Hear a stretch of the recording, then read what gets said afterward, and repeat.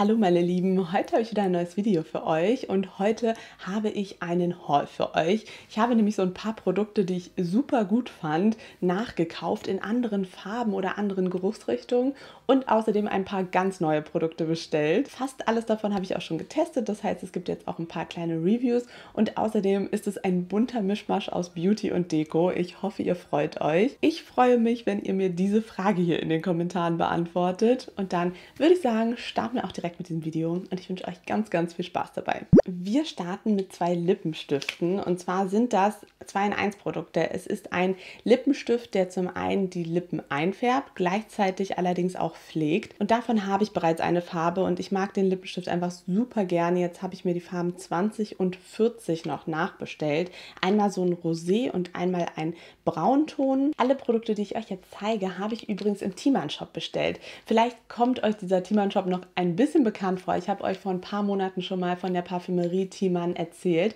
Das ist ein Familienunternehmen aus Sachsen und dieses Familienunternehmen ist aufgrund der aktuellen Situation auf den Onlinehandel umgestiegen bzw. hat den Handel ausgeweitet darauf. Ich finde das ganz toll, sowas zu unterstützen, denn gerade diese familienbetriebenen Unternehmen, also im Parfümeriesegment, haben auch ganz, ganz tolle Sortimente. Also der Timan Shop beispielsweise führt Lancôme-Produkte oder auch Prada oder Biotherm. Da gibt es super viele Marken und Produkte. Und ich kann nur an euch appellieren, gerade wenn ihr auf der Suche noch nach Geschenken seid oder euch selber beschenken möchtet, bestellt doch in einer solchen Parfümerie. Die freuen sich wirklich über jede Bestellung. Ich habe sogar von dem Timan Shop auch einen 20% Rabattcode für euch bekommen.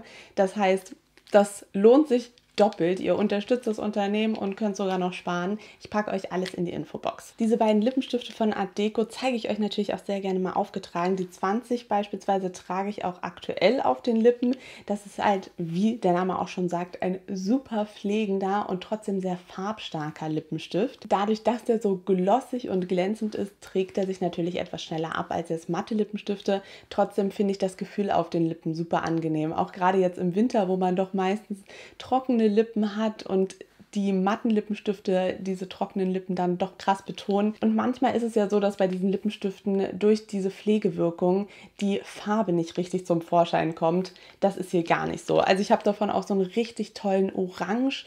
Ton, der ist eher für den Sommer geeignet, aber der ist auch klasse. Und hier habe ich, wie gesagt, ja noch die 40, diesen Braunton. Auch der ist sehr, sehr schön. Der ist noch besser vielleicht für den Alltag geeignet oder auch wenn man ein sehr auffälliges Augen-Make-up geschminkt hat. Also kann ich euch beide sehr empfehlen. Für meine Mama habe ich dann ein Geschenkset bestellt und zwar von Lancôme. Das besteht aus dieser Mascara, die ist ja auch tatsächlich ziemlich gehypt. Dann aus einem Kajal, einem Kohlkajal und aus einem Augen-Make-up-Entferner, Behälter, Produkt. Dadurch, dass Produkte von Lancôme ja eigentlich immer schon super teuer sind, fand ich dieses Set ziemlich cool, weil es doch verhältnismäßig preiswert ist. Meine Mama liebt auch diese Mascaras, deshalb dachte ich, da freut sie sich bestimmt drüber und auch gerade so ein Augen-Make-up-Entferner kann man ja immer gebrauchen. Den Kajal, mal schauen, ob sie damit was anfangen kann, aber sonst gibt sie mir den bestimmt. Oh ja, ein Produkt, was ich mir jetzt auch bestellt habe, weil ich ein anderes Produkt Produkt davon genial finde, ist diese Kerze von Woodwick und zwar mit einem sehr schön bärig, süßen, winterlichen Duft. Also der ist so, so toll. Farblich passt sie auch perfekt in unser Wohnzimmer, weil wir so grün-goldene Akzente drin haben, auch so Tannengrün. Und was ich an diesen Woodwick-Kerzen besonders mag, ist, dass sie erstens wirklich ziemlich ergiebig sind. Also da hat man sehr, sehr lange was davon. Zweitens wohnen wir in einer Altbauwohnung und es ist wirklich sehr, sehr schwer, große Räume mit einem Duft zu füllen sozusagen.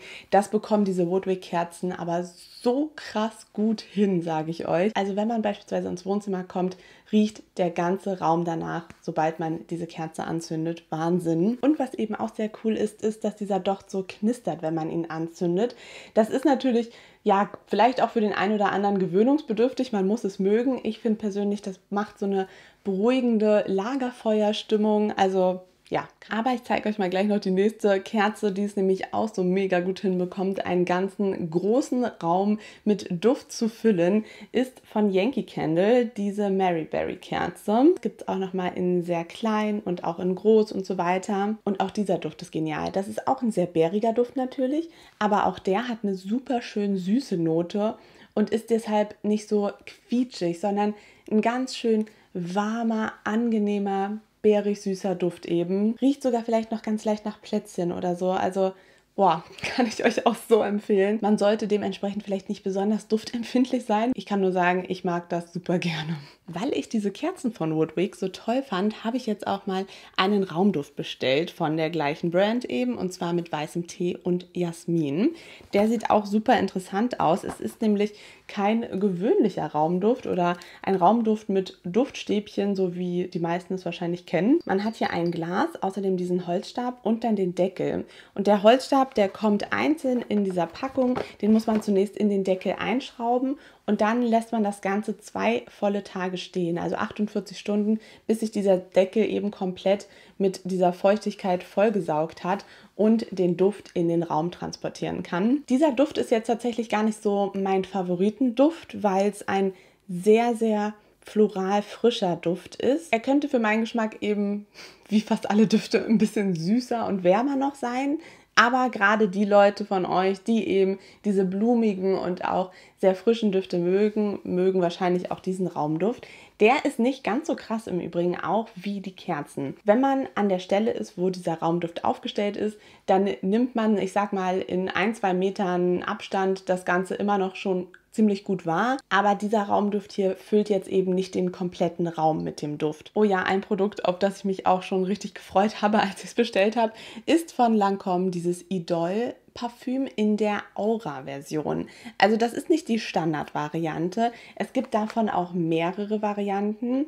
Ich habe ja beispielsweise, das muss ich euch auch gleich mal zeigen, Moment, dieses sehr bekannte La Vie et Belle Parfüm in einer viel, viel süßeren Variante noch. Lustigerweise ist das auch voll mein Alltagsduft geworden. Also ich mag ja diese süßen, nicht zu aufdringlichen, aber trotzdem pudrig warm riechenden Düfte. Auch den kann ich euch gerne nochmal in der Infobox verlinken. Als Cindy und ich uns beispielsweise getroffen haben, hatte ich den auch drauf und sie meinte so, boah, du riechst so gut, was hast du drauf? Dann habe ich gesagt, La Vie est Belle und sie meinte so, echt?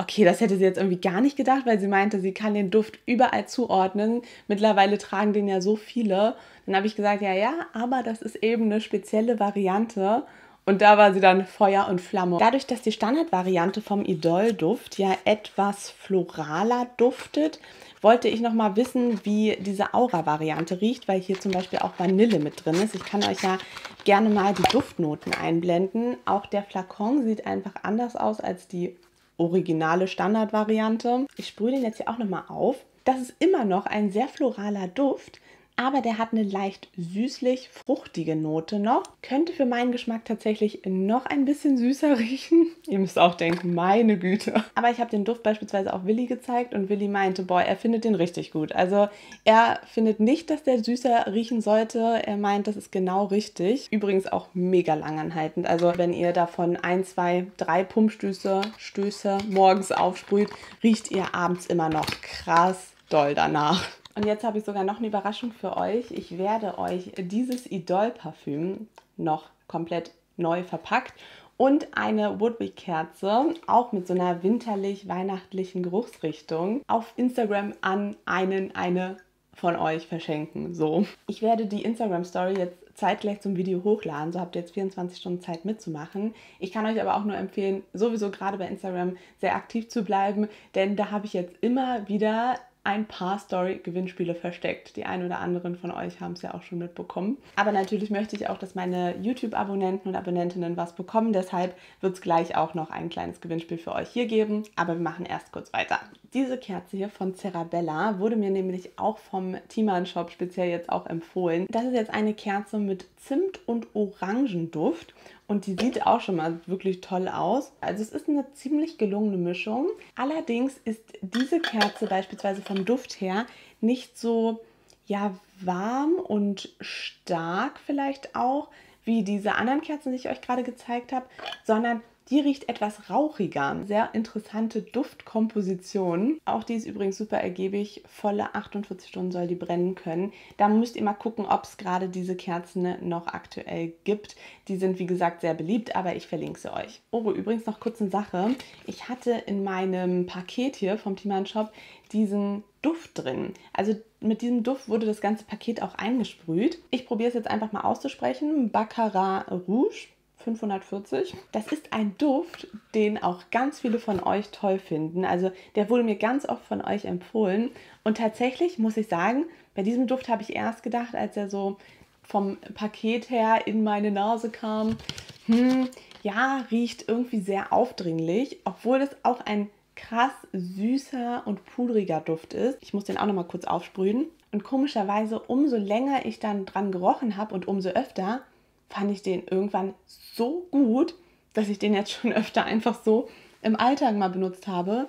Der riecht wirklich mega gut plötzlich. Ich weiß nicht warum. Also wie gesagt, eben auch so richtig süß und wirklich sehr stark süß, pudrig, also recht schwer. Ich denke also, dieses Parfüm muss ich mir unbedingt auch nochmal in der großen Größe anschauen. Stimmt, ich habe auch noch einen weiteren Raumduft von Cerabella und zwar soll der so nach Kräutern duften. Das ist jetzt wieder ein sehr herkömmlicher Raumduft, würde ich sagen. Ich weiß übrigens, was mit Kräutern gemeint ist. Es riecht allerdings auch sehr krass nach Zitrus und Minze, finde ich. Ein sehr frischer Duft, eben vielleicht auch gerade etwas fürs Badezimmer, wo ja alles immer frisch zumindest meistens duften soll. So, und dann habe ich hier noch ein weiteres Produkt von Art Deco. Da muss ich euch allerdings sagen, das habe ich noch nicht richtig getestet. Das ist ein Lidschattenstift. Der soll wasserfest sein und ich habe hier die Farbe 31. Ich trage den gerne mit euch hier nochmal auf dem Handrücken auf. Also das ist wirklich ein ganz toll schimmriger Gold ja, Rosé-Bronzeton. Das ist auch ein sehr cremiger Ton natürlich. Er ist, wenn man ihn so aufträgt, sehr stark pigmentiert. Wenn man ihn dann so ein bisschen verwischt und mit dem Finger einarbeitet, ist er eben nicht mehr ganz so stark. Allerdings weiß ich, wie gesagt, noch nicht so richtig, wie er sich dann auf den Lidern verhält. Das wollte ich eigentlich testen, ich habe es leider vergessen. Fand ich aber auch sehr interessant und wenn ich den getestet habe, dann zeige ich euch den natürlich auch gerne nochmal genauer. Da diesen Sonntag leider aus technischen Gründen ja kein Advents-Sonntagsgewinnspiel online kommen konnte hier, habe ich heute das Paket für euch. Also ich zeige euch auch gerne mal wieder ein Bild, damit ihr so einen kleinen Eindruck bekommt, was da so drin ist. Und ich werde außerdem vom Timan Shop hier nochmal die Kerze von Yankee Candle in klein und auch die Woodwick Kerze in klein reintun, damit ihr auch gleich was von diesen tollen Geruchsrichtungen habt und außerdem von Biotherm noch eine Augencreme. Das findet ihr auch alles da drin. Um mitzumachen, solltet ihr wie immer ein Abonnent, eine Abonnentin meines Channels sein. Ihr solltet dem Video einen Daumen nach oben geben und ihr solltet einen Kommentar verfassen, wo irgendwo der Hashtag Timan zu finden ist, dass ich weiß, dass ihr mitmachen möchtet. In einer Woche werde ich dann den Gewinner oder die Gewinnerin benachrichtigen. So, meine Lieben, und das war's dann mit dem Video. Ich hoffe sehr, dass es euch gefallen hat. Wenn das so ist, lasst mir sehr, sehr, sehr, sehr, sehr gerne einen Daumen nach oben da. Und nun wünsche ich euch noch einen wunderschönen Tag und sage Tschüss.